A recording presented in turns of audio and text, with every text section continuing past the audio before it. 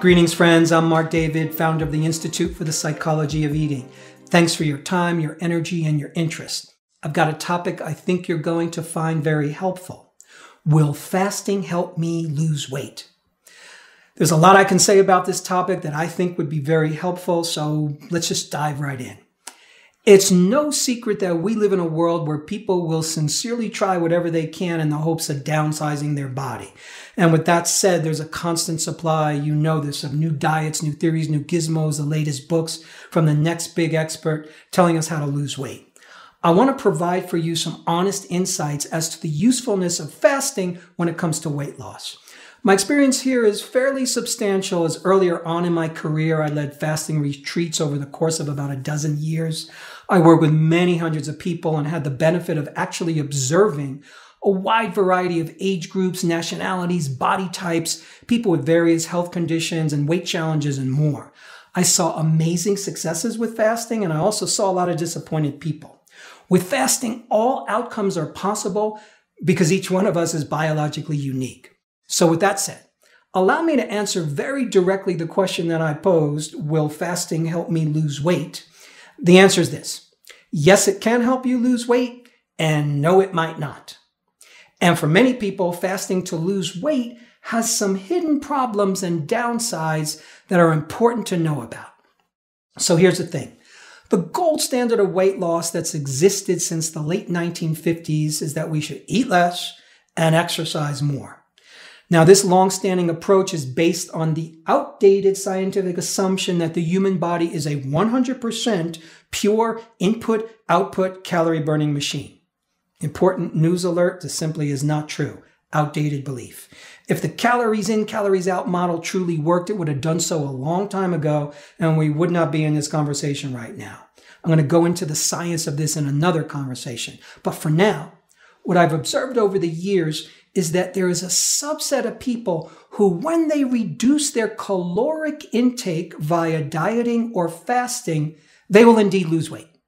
But guess what? The human body has its natural and necessary caloric needs, its energy needs, its nutritional needs. So we cannot sustain ourselves for very long on a deficiency in calories and nutrition. We can fast or we can go on a low calorie diet, but eventually we need to eat again and we're going to naturally hunger for food. So, what many people experience is that they can indeed fast, indeed lose weight, but they gain it right back. And nobody enjoys that. It becomes a waste of time and emotional energy, and it leaves a lot of people feeling shortchanged. So, yes, fasting can help us lose weight, but that does not mean it can grant people sustained and lasting weight loss. The good news is there's a subset of people who, when they fast, several good things happen. First, if people truly have weight to lose, fasting can help reset the body. It's not guaranteed, but it works for a certain percentage of people. One action fasting can have is it can provide the kind of detoxification where our metabolism can shift to a more normal and healthy state. Research has shown that liver detoxification can lead to weight loss.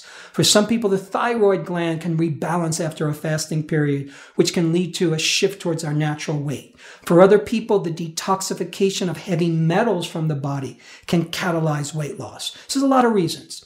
Additionally, when fasting, we're generally eliminating potential food allergens from the diet, such as the common ones, gluten, dairy, and soy.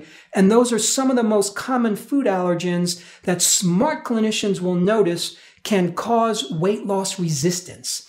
So eliminating these during a fast can stimulate weight loss and drive us towards our natural weight.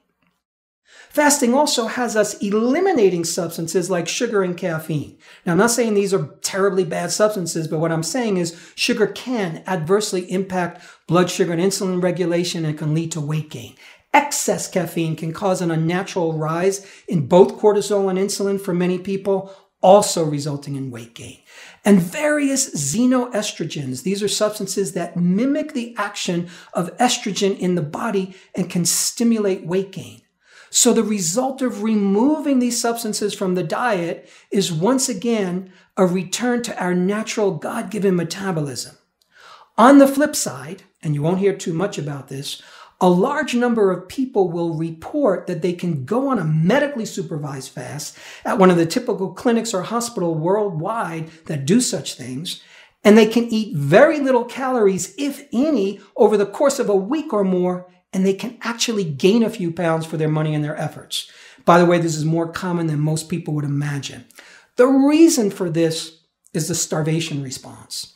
Some bodies, many bodies, will vigorously resist the absence of food. The brain believes we're on a desert island and that we're in famine conditions, and it wisely does its job by signaling the body to store weight, store fat, and not build muscle. This yields the exact opposite of weight loss that so many people want.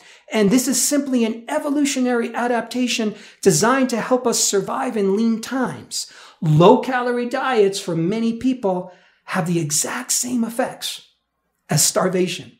So, what this points to is that the stress response can lead to both weight loss resistance and weight gain. The scientific literature is abundantly clear about the impact that stress itself and the chemistry associated with it can have on weight. It shoots up. This is important because many people who fast, check this out, are in a stress response. They're living in fear and anxiety about their weight. We might be in judgment of our body, attacking it with our silent words and thoughts, all of which create stress chemistry, specifically the hypersecretion over time of cortisol and insulin, which can both signal the body to store fat, store weight, not build muscle. So our attitude while fasting can impact our ability to lose weight. Our inner emotional landscape can actually drive our physiology depending on whether or not we're in the physiologic stress response, sympathetic nervous system dominance, or the physiologic relaxation response, parasympathetic nervous system dominance. Can you see how huge our inner world is when it comes to the nutritional tool called fasting? If you're going to fast, ask yourself, Am I being driven by self hate, by fear of body fat, by self judgment, by the stress of not weighing what I think I should weigh? Or am I being inspired to fast because I wish to be healthy, to better myself, to improve myself, to deepen my connection to myself? By the way, the earliest recorded mentions of fasting go back to biblical times. Additionally, native cultures across the globe have practiced fasting for eons at time. But please note, the prophets of old didn't go into the wilderness and fast so they could look good in a bikini. They fasted to cleanse their soul and to connect with a higher power. Likewise, Native Americans don't fast so they can have tighter abs and buns of steel. They fast in nature so they can have a spiritual vision, connect to their higher purpose, move beyond their limitations. So fasting can be a potent and powerful state. It's not just about shedding pounds. It's not just about letting go of chemical toxins. It's about cleaning out the mind. It's about detoxifying ourselves of harmful thoughts and outdated beliefs about who we are. It's about releasing toxic emotions, toxic relationships, toxic media, toxic habits, and more. So if you choose to fast, put your heart and your mind and your soul in the right place. Don't have the mere shallow goal of exterminating a bunch of body fat. Don't use fasting to hate away extra pounds. Rather, ask yourself, what do I truly need to let go of? How can I clean out my mental and emotional house? What is it that I'm carrying that's old and outdated? What unwanted habits need to exit my life? Are there aspects of my character, my behaviors, the way I treat people that need to be cleansed and renewed? How is life wanting me to be a better person? And who do I want to be as a person as the result of going on the powerful journey of cleansing body and mind? In short, fasting is a time for self reflection. Requires some spaciousness, some simplicity, some silence. It's asking us to tap into something deeper, something higher. I think when we approach fasting in this way, our success is far more assured, whether we lose weight or not. Hope you found this helpful, my friends. And as always, I look forward to more. Take care. Hey, friends, we're so happy that you've joined us for another episode of The Psychology of Eating with Marc David. Are you loving these episodes?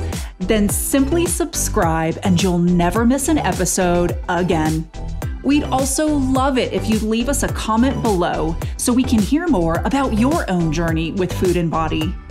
And if you're curious about what we offer at the Institute for the Psychology of Eating, including our internationally acclaimed coach certification training that's rooted in dynamic eating psychology and mind body nutrition, please head on over to our website, psychologyofeating.com.